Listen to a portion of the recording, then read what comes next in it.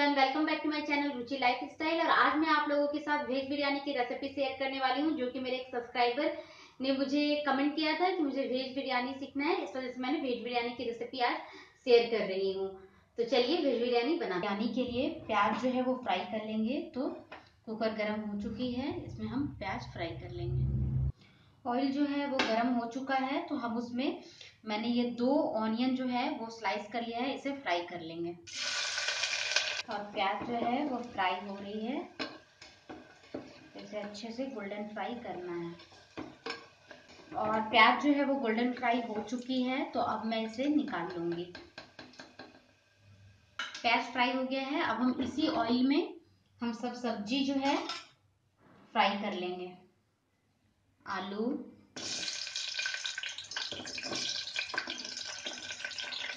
गाजर। बीन्स और आलू जो मैंने लिया था, वो एक आलू लिया था। बीन्स मैंने दस बीन्स ली है। और आधा शिमला मिर्च मैं ऐड करूँगी और गोभी के कुछ कली जो मैंने ऐड किए हैं। और इसे पहले हम फ्राई कर लेंगे। और सब्ज़ी फ्राई करते समय इसमें सॉल्ट भी आप ऐड कर लेंगे हल्का। ये फ्राई हो चुका है तो अब हम इसे निकाल लेंगे। सारी सब्ज़ियाँ। और इसी ऑयल में हम पनीर के कुछ क्यूब्स जो कि फ्राई कर पनीर भी फ्राई हो चुका है तो इसे भी हम निकाल लेंगे।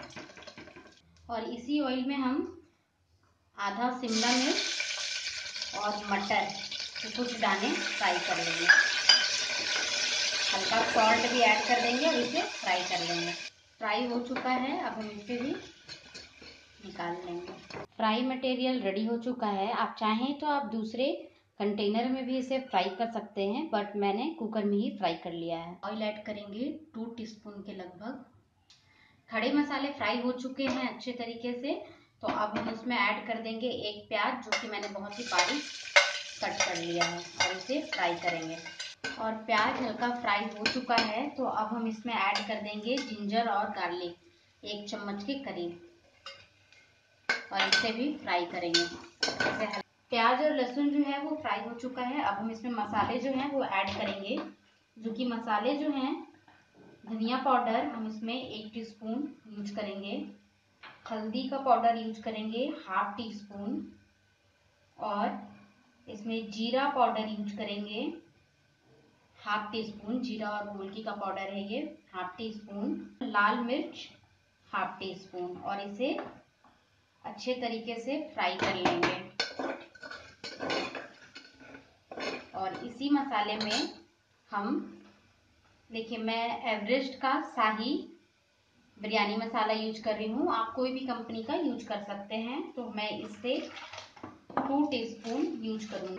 मसालों में हम थोड़ा सा गरम मसाला भी यूज़ करेंगे, एक पिंच के करीब। मसाले जो हैं वो फ्राई हो चुके हैं अच्छे से। अब हम इसमें दही जो है वो ऐड करेंगे। तो दही कभी भी गर्म में ऐड नहीं करिए, नहीं तो आपका दही जो है वो पूरा फट सकता है। तो इस टाइम पे मैं गैस को ऑफ़ कर दूँगी और कुकर को ठंडा होने और हमने दही यूज़ किया है जो कि इस चम्मच से दो टीस्पून हमने लिया। और दही को हमने अच्छे तरीके से फेंट लिया है, ठंडा हो चुका है और मसाला जो है ठंडा हो चुका है। समय पे हम दही जो है, मैंने जो दही सेट करके रखा है, वो ऐड कर देंगे और इसे मिक्स कर लेंगे। वो मिक्स हो चुका है। अब हम इसी समय पे सब, सारी सब्ज़ियाँ जो हैं, वो ऐड कर देंगे। और अब हम इसे मिक्स कर लेंगे। सारी सब्ज़ियाँ मैंने ऐड कर दी है और इसे अच्छे तरीके से मिक्स कर और सब्ज़ी आप देख रहे होंगे, मसाले जो हैं, वो अच्छे तरह से मिक्स हो चुका है। तो अब मैं गैस जो है वो ऑन कर लूँगी।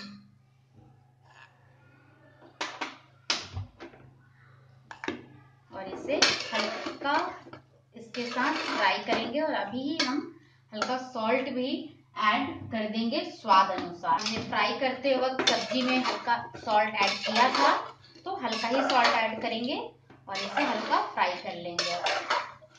गेट बासमती राइस और इसे हम ऐसे वॉश करके रख लेंगे। इसे फूलने के लिए पानी में नहीं रखना है। चावल हमने वॉश करके रखा है। इसमें भी सॉल्ट हम स्वाद अनुसार ऐड कर देंगे और इसे भी अच्छे तरीके से मिक्स कर लेंगे।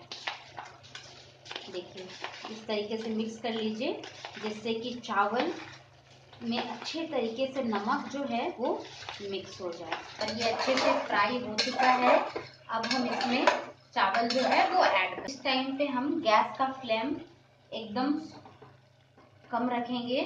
और सबसे पहले हम इसमें भुना हुआ प्याज इस तरीके से चारों तरफ़ फैला लेंगे और फिर धनिया की लीव्स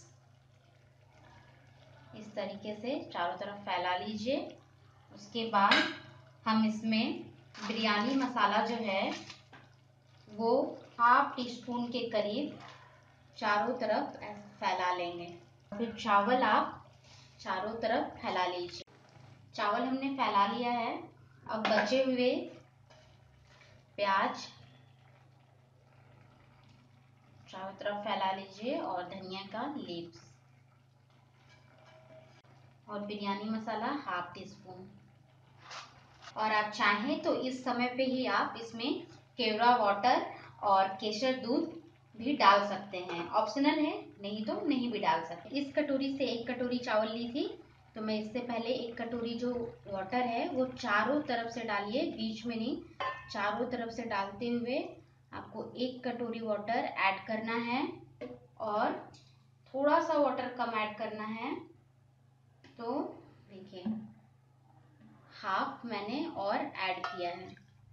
वाटर हमने ऐड कर दिया है कुकर का ढक्कन लगा के हम इसमें एक सीटी आने तक इसे हाई फ्लेम पे पकाएँगे तो देख रहे हैं आप लोग, एक सीटी लग चुकी है और मैं इसका फ्लेम कम कर दूँगी। दूसरी सीटी नहीं आने दे और दो से तीन मिनट तक हम इसे पका लेंगे और ऑफ़ कर देंगे गैस। और कुकर ठंडा हो चुका है, देख रहे होंगे आप लोग।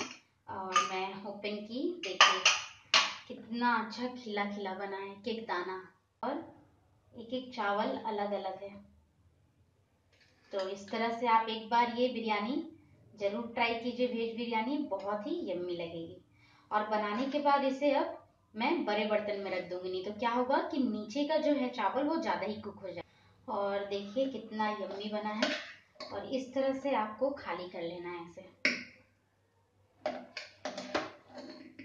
ये चावल भी एकदम खिला वेज बिरयानी बनकर रेडी हो चुका है तो ये रेसिपी एक बार आप लोग ज़रूर ट्राई कीजिए, ये खाने में बहुत ही यम्मी लगती है। और ये कुकर में तुरंत से बन जाती है, झटपट। तो ये रेसिपी आप एक बार ज़रूर ट्राई कीजिए और कमेंट कीजिए कि आपको ये रेसिपी कैसा लगा। और आप लोगों को मेरा वीडियो अच्छा लग रहा हो तो प्लीज़ मेरे वीडियो को लाइक कीजिए, मेरे चैनल को सब्सक्राइब कीजिए, रुचि लाइफ स्टाइल और ज़्यादा से ज़्यादा शेयर कीजिए।